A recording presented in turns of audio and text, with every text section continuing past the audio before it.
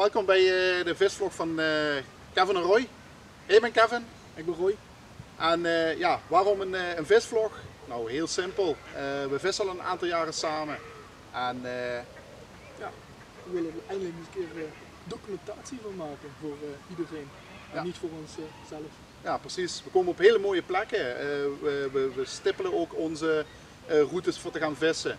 En we komen op uh, zo'n unieke plek dat we zoiets hebben van ja, dit moeten we delen met de mensen.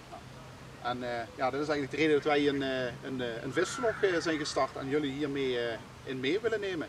Precies. Dus kijk veel, veel kijkplezier. Ja, en als jullie het leuk vinden, duimpje. Dat sowieso. En abonneren. En zeker weten abonneren. En vergeet het belletje niet. 100%. Bedankt voor het kijken en ja, veel plezier met onze vlog.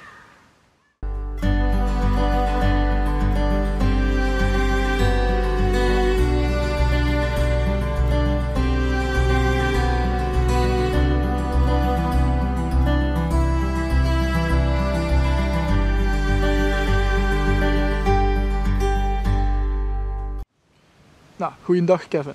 Even een vraagje. Uh, we gaan nu een interviewtje over jezelf beginnen. Uh, met de eerste vraag is natuurlijk, hoe oud ben je? Nou, ik ben 36 jaar uh, jong. dan heb ik de volgende vraag voor je. Heb je nog andere hobby's behalve vissen?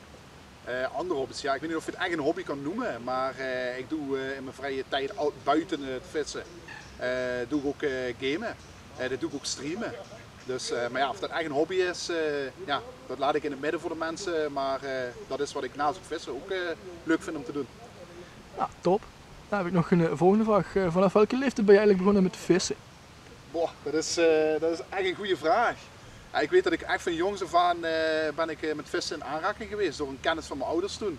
ja, volgens mij dat je de leeftijd hebt dat je een hengeltje kan vasthouden, ben ik met een vaste stok eh, begonnen. En eh, zo, dat is nooit meer uit mijn leven gegaan. Sindsdien vis ik altijd. Dus ja, wat zou je zijn? Een jaar of 8, 9, 10 jaar. Eh, ja.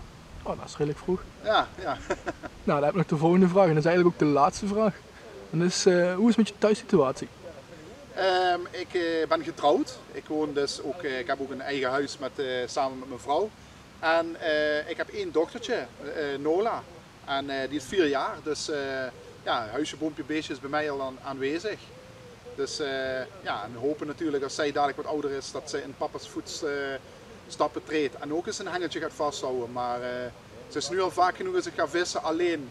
Uh, zonder haar, dan, ja, dan is ze al boos dat ze niet mee mag. Dus dat gaat wel goed komen. Nou, helemaal top.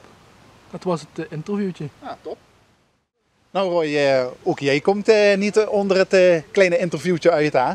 Dus uh, ja, laten we met jou ook bij de eerste vraag beginnen van uh, ja, wat is je leeftijd? Ja, ik ben 29 jaar jong. Dus uh, ja, nog vele jaren te gaan. Ja, en ja, heb je nog andere hobby's buiten het, het vissen zelf? Eigenlijk ook hetzelfde, gamen. Ja. Af en toe streamen. Dus vooral meedoen met de stream vooral. Dus ja, dat zijn eigenlijk qua hobby's. Ja, en Funko Pop spelen. En de, weet het, uh, hoe oud was jij eigenlijk uh, dat je met het vissen aan aanraking bent gekomen? Wat ik me kan herinneren, is, of herinneren, wat ik van heb horen zeggen, was ik vijf. Ik ben met mijn vader voor de eerste keer meegegaan met forellen in Duitsland. Ja, sindsdien eigenlijk ook al een hele erge trekneiging naar forellen. En nu karper. En vooral roodvis.